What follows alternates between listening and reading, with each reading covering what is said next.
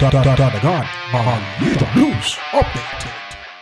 Sa hindi pa nangyari ang krimen, inanunsyo na sa publiko ni Governor Ruel Digamo sa panayam sa kanya ng mga lokal na mamamahayag sa kanyang lalawigan na ang lahat ng mga nangangailangan ng tulong mula sa kanyang probinsya ang mabibigyan na ng pansin dahil ginawa nitong People's Day ang araw ng Sabado.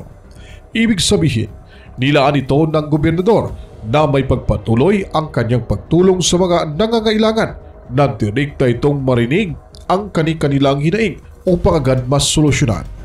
Mismo sa compound ng bahay ng gobernador, tinatanggap ang mga bisita dahil masaya itong makatulong sa kanyang mga kaprobinsya.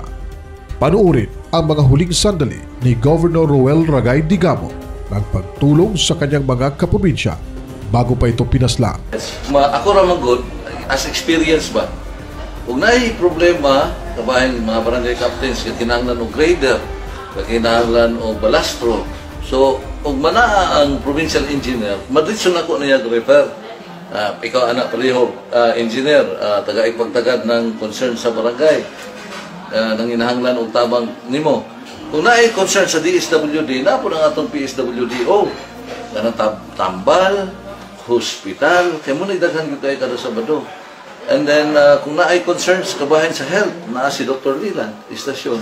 Kaya mo na nga, uh, ako yung gidala ang mga department heads. Naapod ang provincial agriculturist, naapod ang PDRMO, kaya para kung kung sa mga concerns sa ilahang mga departments, sila yung makatagadayon. And uh, I'm happy nga fast ang pan, fast ang action, kanya masatisfied ang tao, Every time to asa ko dapit nga magputsiso kag katawhan, ako yung directive sa ato ang uh, provincial agriculturist nga magdala sila binhi, magdala sila og uh, seeds, vegetable seeds, magdala sila og uh, unsa ni uh, katong mga seedlings sa uh, kakao, kape.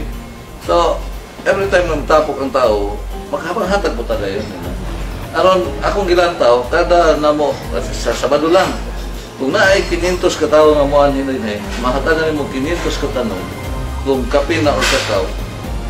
Naay 500 ka kape o kakao nga matanong so sa sunod na po na na po 500 so kung nagustuhan nyo ang impormasyong ito Huwag kalimutang i-share para malaman ng karamihan ang mga mainit-init pang mga kaganapan sa ating lipunan. Para mapakinggan at mapanood ang mga mainit-init pang mga balita, huwag kalimutan i-follow ang page na ito para dated like sa mga kaganapan sa ating lipunan. Tatatahan agad balita